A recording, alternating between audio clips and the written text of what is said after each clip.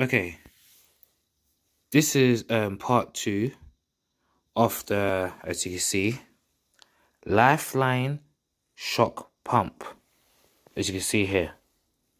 Now, this is connected onto tapered 100 mil recon forks. As you can see at the bottom. Of course, these are the wrong forks because it's 110 mil boost and I'm running 100 mil with 50 mil for axle wheels. So they sent me the wrong one.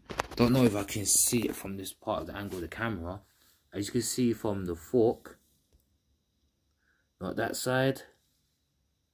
See here? They sent me the wrong one for my bike.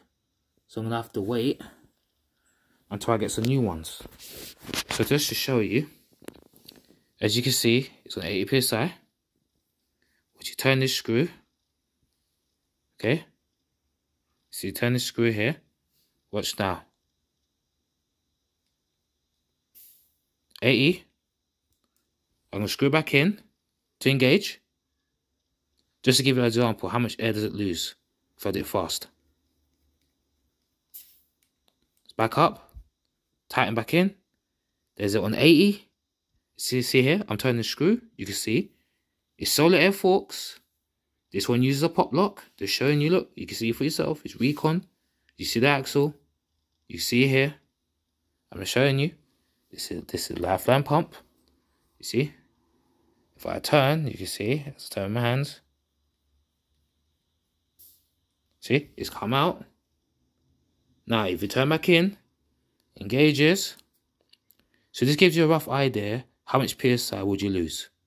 So let me just quickly um, try to pump this up. It's going to be kind of hard holding the thing like, know, let's see.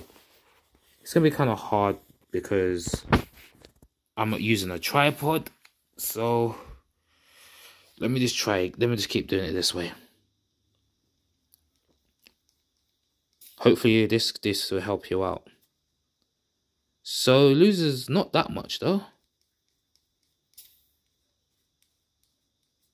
Hold on. Let me just face this to my bike a minute. Let me quickly pump this up. Hold on. Let's get this up to 80 psi. Bring it back now. So now you want 80 psi. How much does it actually lose? Okay. Now we're tighten it.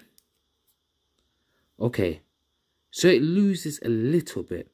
So at least I know if I'm on 80 psi and I turn, turn this part here. So okay, let's give it a go. There goes the air. We go tighten back up, engage. Okay, so it loses a little bit. So if I went 80, hold on, I'm gonna face my my Charles bike let's say around here. So if I went 80, let's say somewhere around here, probably have to do this like twice. Tighten in. Okay, near it, I have to do this twice. Okay, tighten up again. There we go, we got 80. So I had it before, I was right. Had to go twice. So once you just put it a little bit, a little turn, let's say, okay, there you are. There is it right there on the 80, okay? Now let me turn. There goes the air. Engage again. Okay, now we're there. Turn again. Tighten up again. Yeah, so it's pretty good. It's a pretty good feature having this. This helps out a lot. Because once you turn this, it's no longer engaged. And also, look, you can see, look, it comes out. Look, see there, look. I'll show you down into the hole. There you go. There's a valve straight down there. Straight down there is what we're, we're engaging with, with this. So I'll put that in. Nice and gently. Don't lose any form of thread.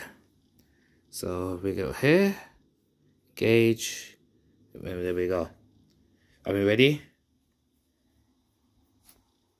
It comes off like that. And what you do when you're ready to take it off, you turn the silver part and it comes off. You want to tighten, turn the silver part, goes back in, and you're good to go. So that's the lifeline pump. This is part two of it. And this is how it actually works. Hopefully you like it. If you do, thumbs up. If you don't, thumbs down. If you want to put no likes or no dislikes, no need to worry. The main thing is, hopefully I answered your question.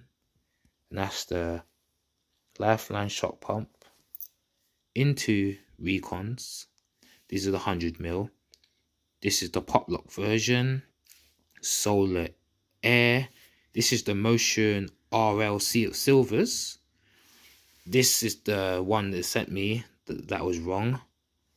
So, yeah, pretty good.